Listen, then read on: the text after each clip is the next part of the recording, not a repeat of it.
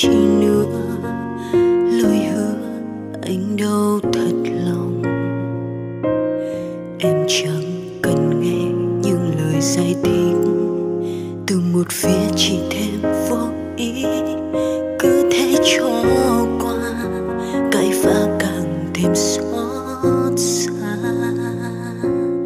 Vậy thì anh cứ bước cùng cô ta. Em không trách chỉ là em tiếc thời gian qua đã từng yêu anh thiết